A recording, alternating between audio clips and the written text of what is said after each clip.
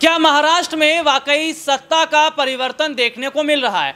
और क्या महाराष्ट्र में अगर सत्ता का परिवर्तन हो जाता है, यानी कि एकनाथ शिंदे अपने विधायकों के साथ बीजेपी की, बीजेपी को छोड़ अगर वापस उद्धव ठाकरे की तरफ़ चले आते हैं तो क्या महाराष्ट्र में एक बार फिर उद्धव ठाकरे के हाथ में सीएम कमान आती नज़र आएगी? और महाराष्ट्र में जो लगातार सियासी फेरबदल हम देख रहे हैं, महाराष्ट्र में जिस तरीके की स्थितियों को हम देख रहे हैं, वो ज़ाहिर तौर पर ये बताता है। वो ये साफ़ तौर पर बताता है कि क्या वहाँ पर एकनाथ शिंदे और तमाम विधायकों को मंत्रिमंडल में जगह नहीं मिल पा रही है। नमस्कार, मैं हूँ राहुल शर्मा। आप देख रहे हैं एस न्यूज़ और स्वागत है आप सभी का। आज की बड़ी खबर में और बड़ी खबर की शुरुआत इस वक्त हम कर रहे हैं महाराष्ट्र से।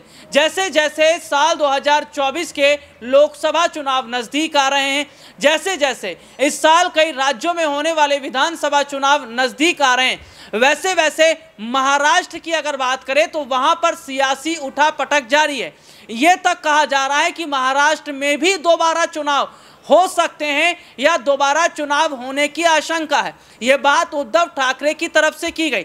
दरअसल अपने दर्शकों को बता दें कि उद्धव ठाकरे काफ़ी समय से इंतज़ार कर रहे थे कि महाराष्ट्र में कब सत्ता का परिवर्तन हो और सीधे तौर पर एकनाथ शिंदे जो उद्धव के साथ में जुड़े हुए थे, जो उद्धव ठाकरे के साथ थे, सीधे तौर पर देखने को मिला कि कहीं ना कहीं उनका रास्ता एक नाथ शिंदे का और तमाम विधायकों का अब अलग होता नज़र आ रहा है। क्योंकि बीजेपी का अगर हम ज़िक्र करते हैं तो मंत्रिमंडल में जिस तरीके से बीजेपी के विधायकों को ज़्यादा जगह दी जा रही है या ज़्यादा जगह मिल रही है वो ये ज़ाहिर तौर पर बताता है, वो ये साफ़ तौर पर बताता है कि क्या वाकई महाराष्ट्र में एक बहुत बड़ा परिवर्तन देखने को मिला और सीधे तौर पर मैं उद्धव ठाकरे का अगर ज़िक्र कर रहा हूँ तो ये समझिएगा कि जो अभी हाल ही में सर्वे सामने आए हैं, या जो सर्वे अभी हाल ही में करवाए गए हैं, वो कहीं ना कहीं ये बताते हैं, वो कहीं ना कहीं ये ज़ाहिर तौर पर दिखाते हैं कि क्या आने वाले वक्त में, क्या आने वाले समय के अंदर उद्धव ठाकरे के हाथ में ही सीएम कमान आती नज़र आएगी। हालाँकि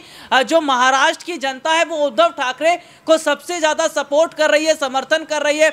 और ये तक कहा जा रहा है कि एकनाथ शिंदे और देवेंद्र फडणवीस के बीच जिस तरीके की स्थितियाँ हैं, वो ज़ाहिर तौर पर यह बताती कि शायद कहीं ना कहीं जो घटनाक्रम हम देख रहे हैं, वो ऊपर नीचे हो रहा है। यानी कि शिंदे और तमाम विधायक जो एक बार को ये कहते हैं कि हम बीजेपी के साथ हैं, जय वीरू की दोस्ती की मिसाल दी जाती है। दूसरी तरफ़ हम ये देखते हैं कि यही जो विधायक हैं, यही एक नाथ जो शिंदे हैं, ये सीधे सीधे तौर पर जो है जो हालात इस वक्त हम देख रहे हैं, वो समर्थन जो है वो कर रहे हैं उद्धव ठाकरे का। तो वाकई पर्दे के पीछे क्या एक नाथ शिंदे और तमाम विधायक अगर उद्धव के साथ हाथ मिला रहे हैं तो महाराष्ट्र में क्या बीजेपी को एक बड़ा झटका लगता नज़र आएगा?